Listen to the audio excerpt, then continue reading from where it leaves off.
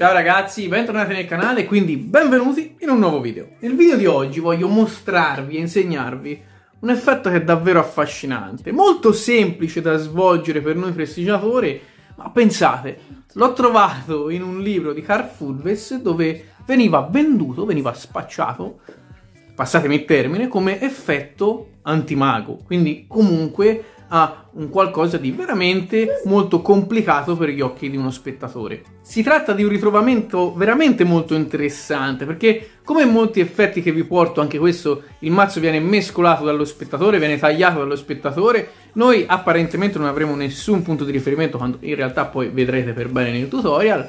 Fatto sta che poi al termine faremo fare delle scelte allo spettatore, scusatemi se lo sto eh, ripronunciando un monte di volte, ma al termine noi riusciremo a ritrovare appunto la carta da lui scelta mentalmente, perché comunque la carta sarà scelta mentalmente. Eh, non voglio spiegarvi molto altro perché ho veramente piacere che vi godiate appunto la performance, quindi non voglio aggiungere appunto nient'altro. Io vi invito come sempre a lasciare un bel like sotto a questo video e ad iscrivervi al canale. Vi ricordo che mi trovate anche su Instagram come Marco Magic Paolucci. Detto questo, io vi lascio la mia intro e ci vediamo subito dopo per la performance e per il tutorial. Buona visione, ragazzi!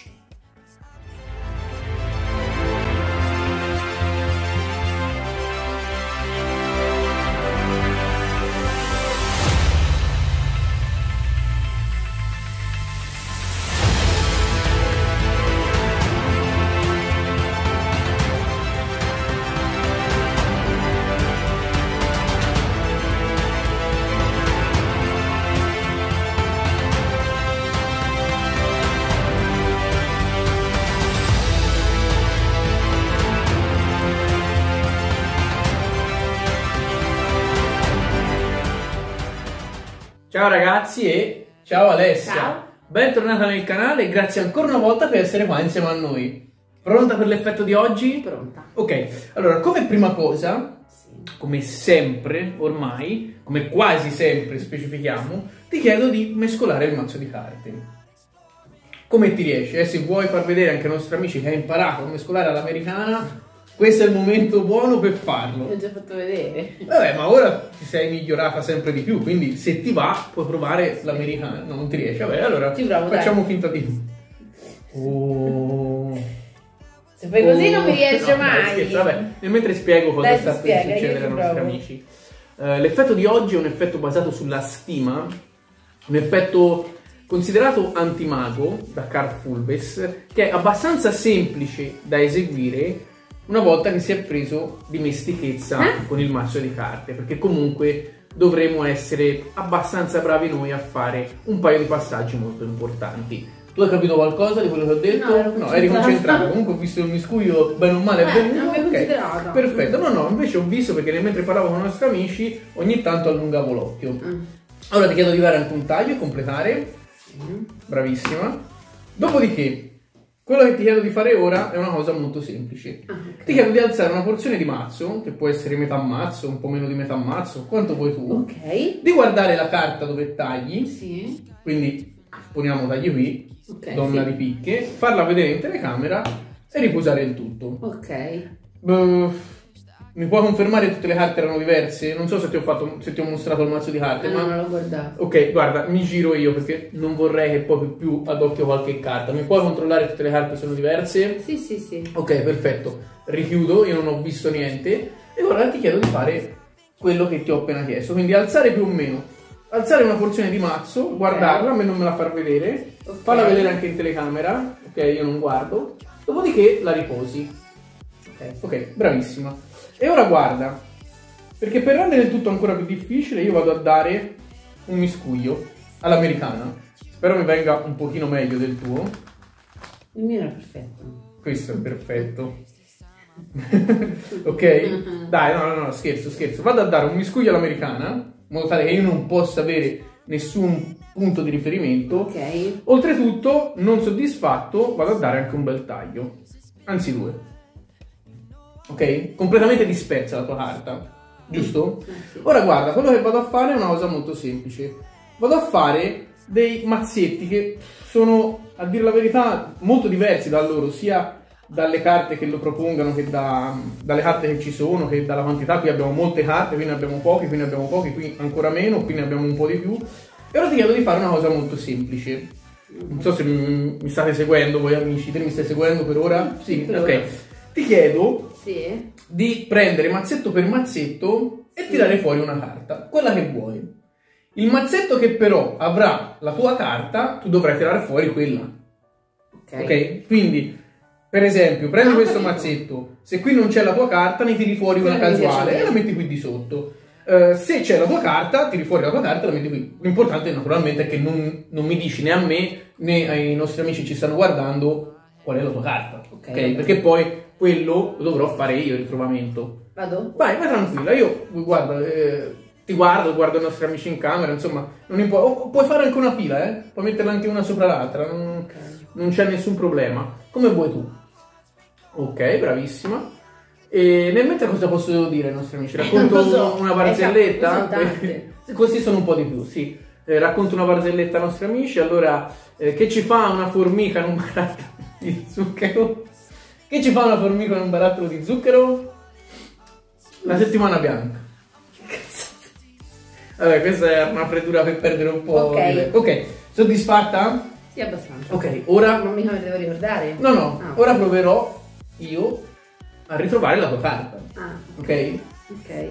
Qui all'interno c'è la tua carta, sì, per forza. Le altre quattro non, non sono, giusto? Uff. Ok. Sì. Mm. Aspetta, eh, perché sai, non è proprio così semplicissimo. Eh. Devo uh, avere un paio di, di- di sensazioni, insomma, devo, devo scoprire un po'. Eh, eh. Ok, ce l'ho questa. Non l'ho visto. Eh, vabbè. Eh, che carta avevi scelto? Allora, io intanto la metto avanti, eh, ti dico che è questa qua. Che carta avevi scelto? Re di cuore. Re di cuori. Eh, quindi non era né il 9 di picche, né il 5 di fiori, né il 3 di cuori, né il 10 di cuori, ma era esattamente, come hai detto tu, il re di cuori. La carta che avevo messo in disparte rispetto a tutte le altre. Come ho fatto? Non si sa. Lo andiamo a spiegare ora ai nostri amici. Quindi, come dico sempre, 1, 2, 3, Tutorial. Tutorial ragazzi. Eccoci arrivati alla spiegazione ragazzi. Intanto se siete arrivati fino a questo punto vi invito come sempre a lasciare un bel like sotto a questo video e ad iscrivervi al canale. Ora cercheremo di apprendere questo effetto che vi dico già sarà difficile da capire. Parlerò molto perché ci saranno tante variabili in questo effetto ma cercherò di spiegarvelo come sempre nel miglior modo possibile. Quindi Partiamo dalla base, partiamo dall'inizio, non abbiamo bisogno di nessuna preparazione del mazzo, quindi il mazzo può essere tranquillamente mescolato sia da noi che dal nostro spettatore e può essere anche tagliato, in questo modo qua, ok? Non abbiamo bisogno di nessun riferimento, quindi non abbiamo bisogno di nessuna carta chiave, non abbiamo bisogno veramente di niente. Una volta che, sia, che lo spettatore è soddisfatto dei miscugli e dei tagli, noi lo inviteremo a tagliare una porzione e a ricordarsi la carta dove taglia, quindi supponiamo come se ora avesse tagliato sul 6 di cuori. Cosa molto importante, noi dovremo tener conto di dove taglia lo spettatore, perché come vi ho detto è un effetto basato sulla stima. Quindi noi dovremo cercare di essere il più precisi possibili nel vedere quante carte taglia il nostro spettatore. Quindi se taglierà più o meno a metà, se taglierà più verso la cima, se taglierà più verso il fondo. Dovrete stare veramente attenti perché poi quando noi andremo a tagliare per mescolare all'americana, dovremo tagliare più o meno il solito numero di carte che ha alzato lo spettatore. Questo è necessario perché avvenga l'effetto. Facciamo un esempio pratico, ragazzi, e cercate di seguirmi il più possibile.